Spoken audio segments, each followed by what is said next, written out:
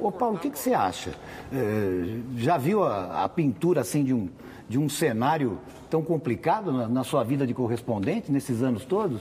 Ah, Gaspar, eu acho que a gente tem que lembrar que a gente estava por aqui já em 11 de setembro, né? Vazão do Afeganistão, na Primeira Guerra do Golfo, na Segunda Guerra do Golfo. Eu acho que está complicado, é... mas eu fico pensando também o quanto que não tem de balão de ensaio e de guerra psicológica nessa história. Assim, eu tenho... o que é uma Terceira Guerra Mundial? A gente não está usando terminologias do século XX para tentar explicar o século XXI. Isso. Assim, o que, que vai ser uma Terceira Guerra Mundial? já não está rolando nos meios cibernéticos. Assim, tem o risco de uma all-out war assim, do mundo inteiro? Sempre existe.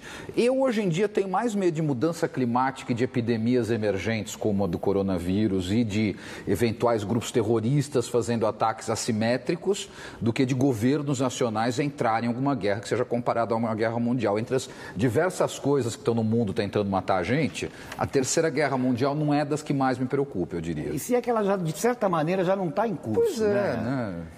E estamos levando, né? Não. Enquanto isso, nós temos um ano de muitas eleições mundo afora. O Alexander, essas previsões sombrias, né, elas podem influenciar eh, nas eleições, nos votos das populações, eh, favorecem, digamos, até o conservadorismo.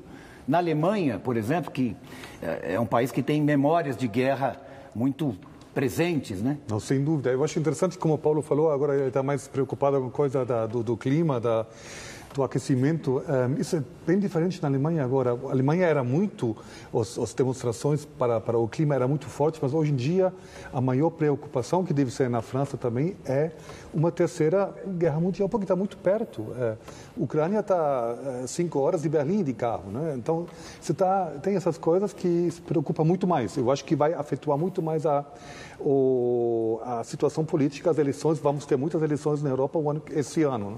E, e, uma, e uma guerra mundial, como a gente pensa nos termos do século XX e tal, é uma guerra, sobretudo, Europa, né? Tudo bem que a Segunda Guerra teve o Pacífico, mas é a Europa. Uma visão que, eurocêntrica, né? Que, que, que era. É, essa é a visão, né? Eu acho que mudou agora um pouco porque tem essa nova, nova, nova Rússia, China e Irã juntos são muito poderosos, uma nova aliança que nunca era tão forte.